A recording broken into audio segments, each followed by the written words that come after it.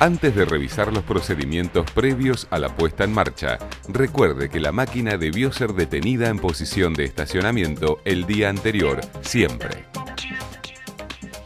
También hay que dejar lleno el tanque de combustible para evitar que se produzca condensación durante la noche. Cuando usted toma posesión de la máquina, lo primero que hay que hacer es una inspección visual recorriendo todo el perímetro del equipo. Es muy importante verificar el estado del material de desgaste, chequear el estado de los vástagos de los cilindros hidráulicos, verificar el estado de las mangueras y válvulas asegurándose que no estén flojas, rotas o dañadas teniendo especial cuidado en que no haya pérdidas de aceite ni signos de transpiración. Controlar el estado y la presión de las cuatro cubiertas.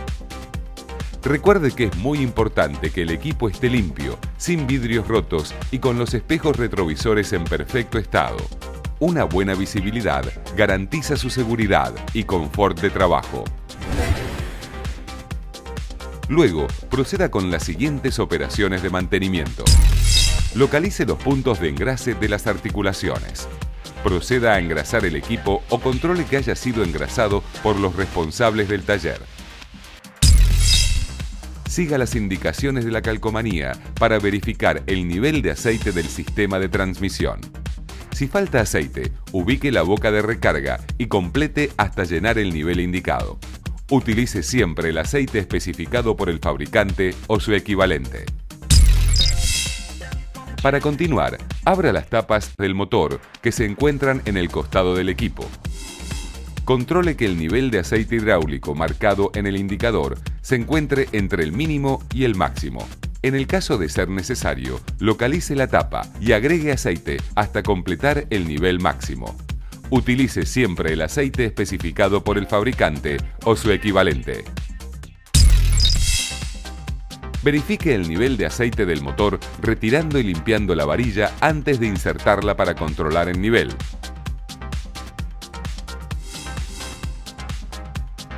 Si falta aceite, localice la tapa del depósito de aceite y complete hasta llegar al nivel indicado. Utilice siempre el aceite especificado por el fabricante o su equivalente.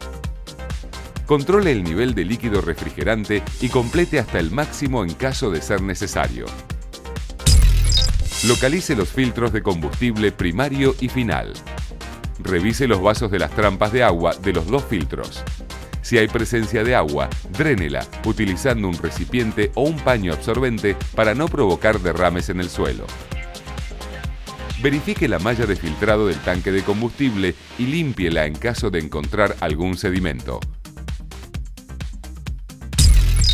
Controle la válvula de polvo y vacíe su contenido si no está limpia. Por último, controle y complete el nivel del líquido limpia parabrisas en caso de ser necesario.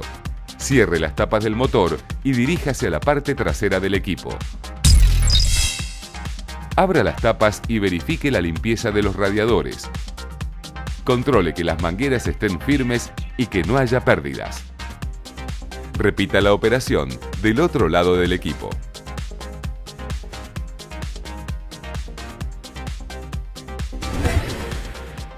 En el caso de encontrar alguna falla o impedimento para operar el equipo, comuníquese con el Departamento de Mantenimiento de Suler Argentina.